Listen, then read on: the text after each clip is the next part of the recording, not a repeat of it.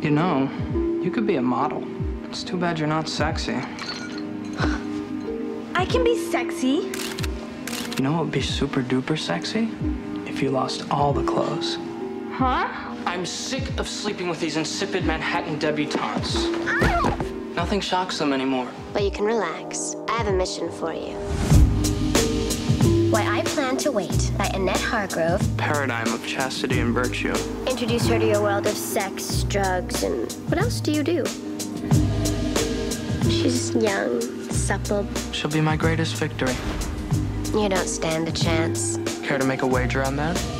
If I win, then that hot little car of yours, mine.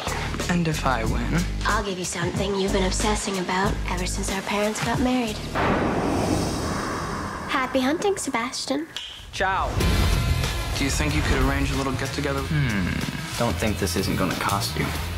God, you're beautiful. Boldly go where no man has gone before. People shouldn't experience the act of love until they are in love. Do you mind if I take my new car for a ride? I can't win with you. It's not about winning, Sebastian.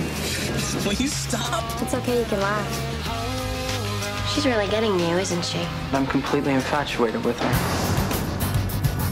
We're destroying an innocent girl. You do realize that. You're just a toy, Sebastian. Get it together. Let me know when you do. I thought we were just gonna be friends. Is she for real? Stop it. In the game of seduction, there is only one rule Why can't we be together? Because I don't trust myself with you. never fall in love. Are you in? Or are you out?